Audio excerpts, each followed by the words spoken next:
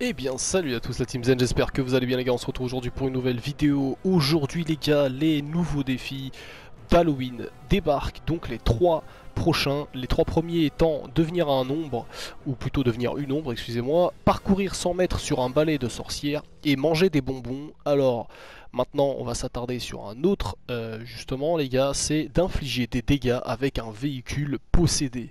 Alors je vais vous laisser un gameplay, je vais vous expliquer ce que j'ai fait et pourquoi je l'ai fait comme ça. C'est parti en tout cas et bon courage.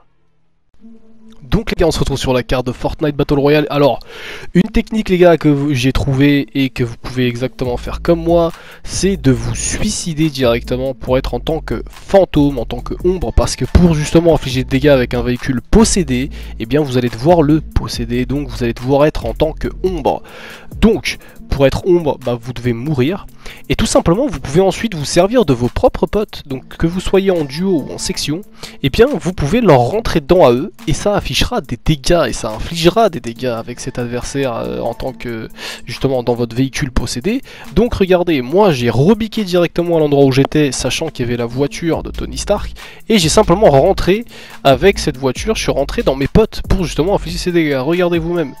Hop, j'inflige des dégâts, la voiture est possédée, ça valide le défi, donc voilà les gars, la petite astuce la plus simple, après vous pouvez faire ça partout sur la carte, vous pouvez faire ça partout euh, en tant qu'ombre, il vous suffit d'avoir un véhicule et des adversaires, donc si vous avez vos potes, c'est tant mieux, c'est plus facile, etc. Donc essayez.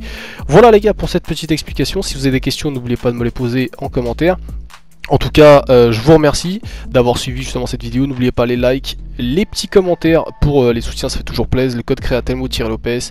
Et bien sûr, le plus important, c'est de rester zen. Je vous dis à tout à l'heure ou demain pour une nouvelle vidéo. Salut à tous.